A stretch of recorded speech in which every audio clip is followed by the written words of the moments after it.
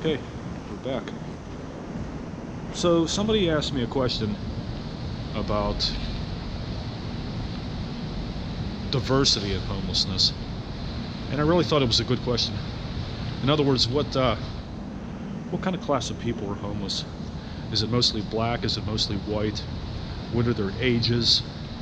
All very good questions, and I have some answers. you have to forgive me. I'm still I'm, I'm still sicker than a dog, but I'm getting better. It was a rough night last night. I had to go to the shelter last night because it was just too cold. But now I hear it's going to be like, I don't know, 40 degrees Monday. So it's going to feel like a heat wave. And then by Wednesday, it's going to be like 52. I'm going to melt. And I'll be proud to melt. Um, okay, so here's some very interesting statistics for you that I have discovered thus far of being homeless. Oh, and look at this crazy alley. These were where homeless people would hang out during the night. Believe it or not.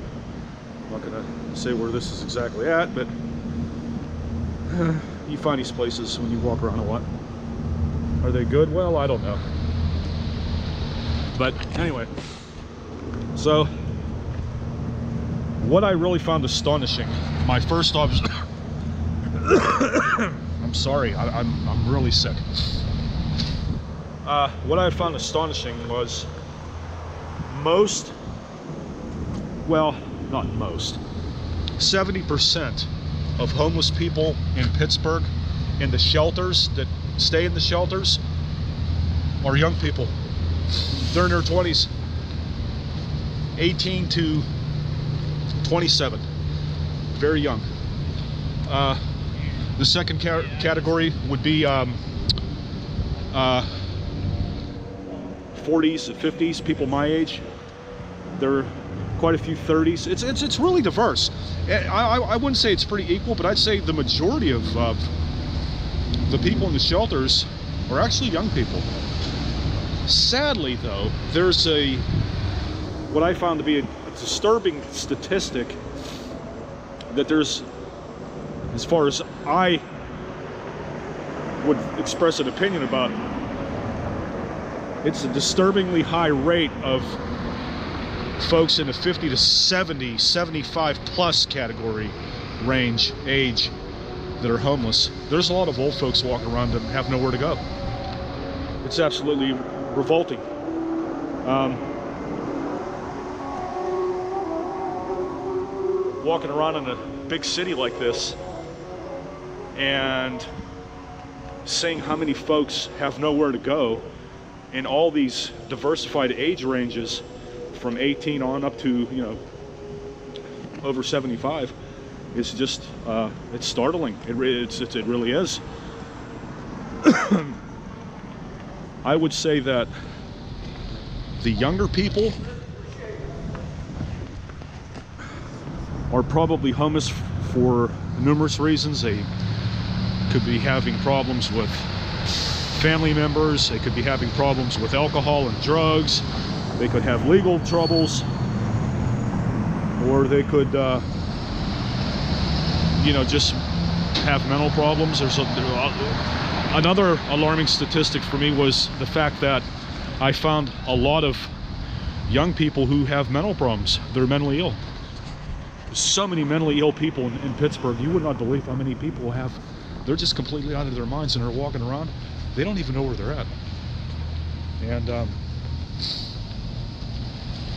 they walk here on Liberty Avenue and you'll see them talking to themselves, having conversations with themselves, shouting, shouting obscenities at people, and doing stuff that you just can't imagine.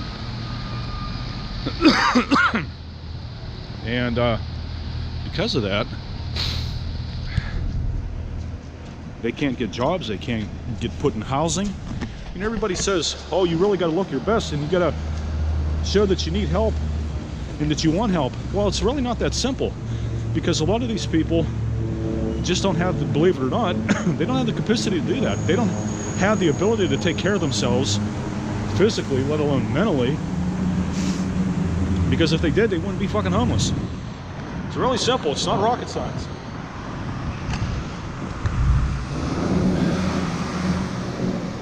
And this place right here, this uh, Catholic Charities is a homeless place here. As you can see, they put these in here for homeless people to take.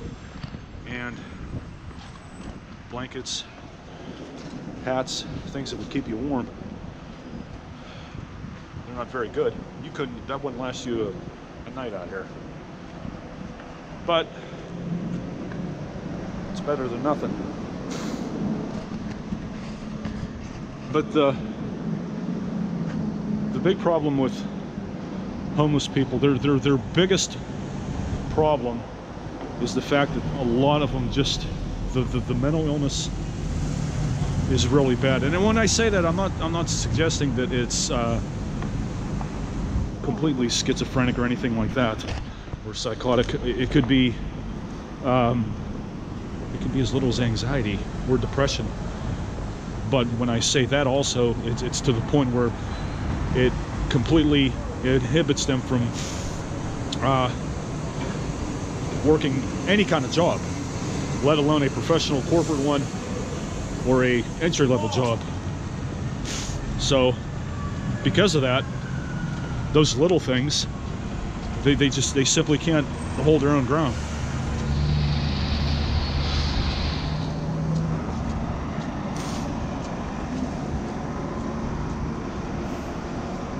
And uh, it, it, it creates a lot of challenges for homeless people. And they get harassed a lot. They get judged, they get, their, uh, they get judgment passed on them because a lot of them can't look neat. Some of them can. You know, the whole idea out here, as I said in earlier videos, just because you are homeless doesn't mean you have to look like you're homeless. But some do. Some just, they don't have what it takes to clean themselves up. Even if they had help for it, they, they wouldn't do it. They just won't. So what are you going to do with those kinds of people? They're difficult questions. But overall, I said the most shocking thing for me was how many young people are in these shelters. 18 to 25 range is just, oh my God, I can't believe it, man. It's like, what happens to these people so early in life that they end up in situations like this? And then the old folks, 70, 75 years old, they should be enjoying their glory years, and instead, they're sleeping in dirty basements of churches. It's just absolutely revolting. So, those are all good questions. I hope I put a little bit of it in perspective. I would say in terms of uh, in terms of race, I'd say it's pretty equal among blacks, among whites. There's quite a few Asians. I mean, it's a pretty diversified city here in Pittsburgh. We have a lot of different people here, and um, it, it, it, pretty much affects everybody. I wouldn't, I couldn't put a, a specific number on races because I really, honestly, I think it's irrelevant. They're pretty equal in the shelters: black, white, old, young. To me, that was staggering. It was one of the first things that I'd noticed. It really was staggering. And uh, when you walk up and down here, Liberty Avenue, you just see so much. It keeps going, and nobody seems to care. So until my next video, I hope I answered some questions, and I will get back to you. If you have any more, let me know what they are, and I'll try to answer those questions as I continue on my journey. Okay? I'm out.